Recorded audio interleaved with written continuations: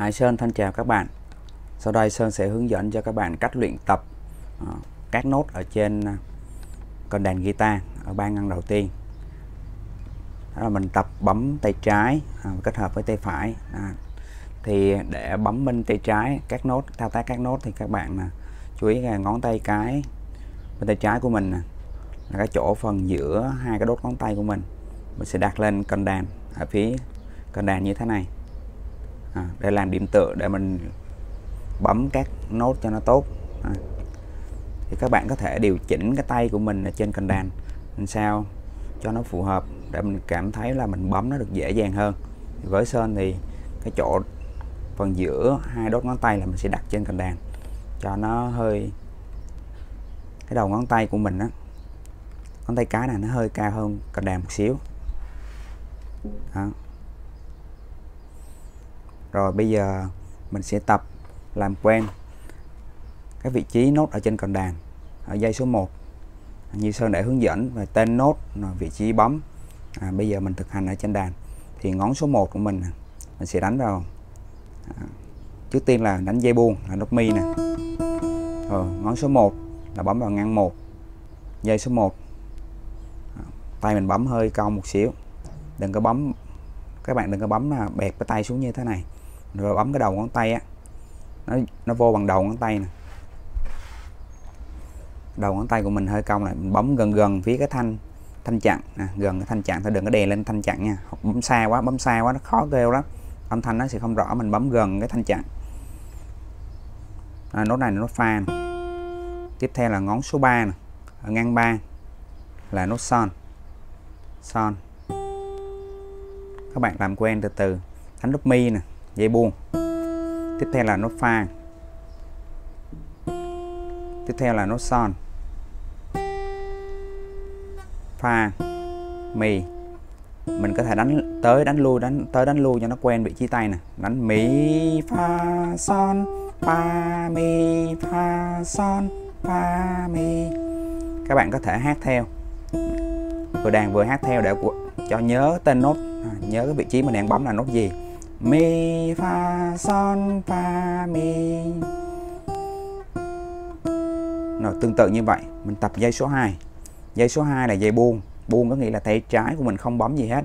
Mình chỉ khẩy cái tay phải thôi nè. Nốt này là nốt C C rồi, cái nốt C là nốt đô.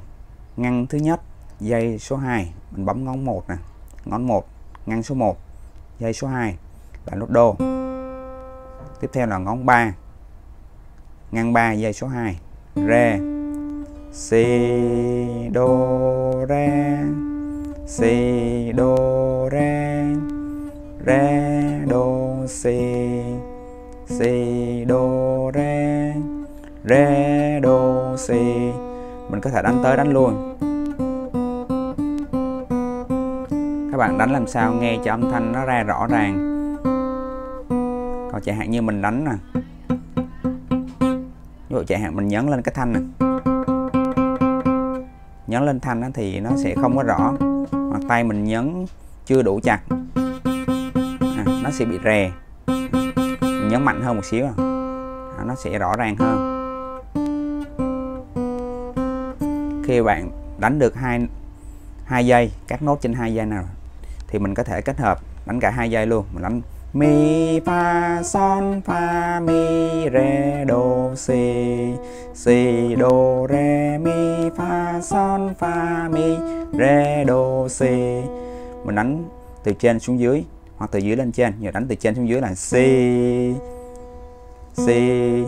À mình nói từ từ dưới lên trên á, là từ dưới lên trên là theo có chiều từ dưới thấp, là dây số 1 lên dây số 2 còn về âm thanh nó là từ trên, nốt trên cao xuống dưới nha nốt trên cao nè. Son, fa, mi, re, do, si. Si, do, re, mi, fa, son, fa, mi, re, do, si. Rồi, tương tự như vậy. Các bạn tập dây số số 3 là son. Son là dây buông. Là là ngăn hai, dây số 3 ngón 2 la, son la son la son la son la son la. Son, la. Tiếp theo dây buông, dây số 4 là dây buông là nốt rê. Rê. Tiếp theo là nốt mi. Ngón 2 ngăn 2 dây số 4 mi. Tiếp theo là nốt pha ngăn 3 dây số 4 ngón 3 đánh mi xin lỗi. Re mi fa mi re mi fa mi re mi fa mi re. Tương tự. Là, là dây số 5 dây buông.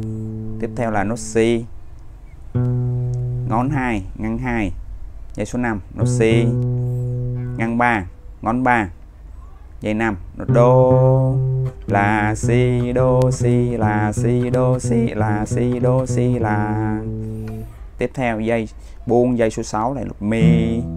À, mi, nó rất là thấp. Mi, mình đọc mi, fa là ngón 1 ngăn 1 dây số 6 fa, son, ngón 3 ngăn 3 dây số 6 mi fa son fa mi fa son fa mi fa son fa mi.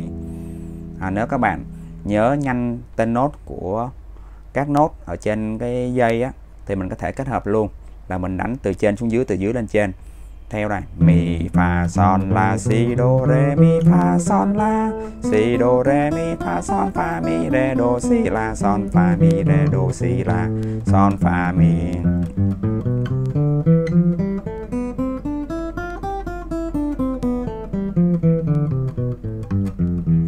Nếu các bạn mà nhớ tên nốt khó quá chưa có quen á, thì mình cứ tập là từng giây một từng giây một. À, đánh từng giây một. Rồi tập dây tiếp theo. Rồi mình sẽ nối à, hai dây lại với nhau.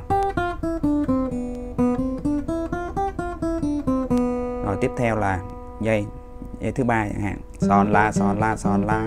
Son la si do re mi fa son fa mi re do si la. Son dây số 4 re mi fa mi re mi fa mi re mi fa mi re. Kết hợp thêm những cái dây mình đã tập. Re mi fa son la. Si do re mi fa son fa mi re do si la son fa mi re. Tương tự như vậy. Các bạn tập làm quen các nốt ở trên à, cần đàn. Mình tập cho ngón tay được linh hoạt. Rồi mình nhớ vị trí tên nốt để khi mà nhìn vào bản nhạc mình sẽ đàn được tốt hơn. À, các bạn cố gắng luyện tập. Nếu có cần à, sơn chỉ thêm gì các bạn thắc mắc gì thì cứ ờ, hỏi và nhắn vào cái phần bình luận để sơn trả lời cho các bạn. Sơn thân chào các bạn.